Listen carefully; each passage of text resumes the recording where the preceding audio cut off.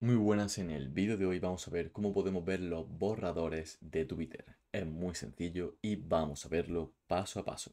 En primer lugar, entramos en Twitter y le damos abajo a la derecha donde aparece el icono del más. Seguidamente aquí podemos escribir cualquier tipo de publicación para dejarla como borrador. Vamos a hacerlo para ver el proceso completo. Por ejemplo, ponemos esto de aquí y a continuación para guardarla como borrador le damos arriba a la izquierda donde dice cancelar y podemos o eliminarla o darle a la segunda opción con el icono de la pluma que dice guardar borrador. Ahora si queremos ver dónde se encuentran vamos abajo a la derecha al icono con el más y seguidamente le damos a borradores. Pulsamos encima y aquí están nuestros borradores que podemos o pulsar encima para seguir publicándolo y finalmente subir el tweet o también podemos eliminarlo, lo que vosotros queráis.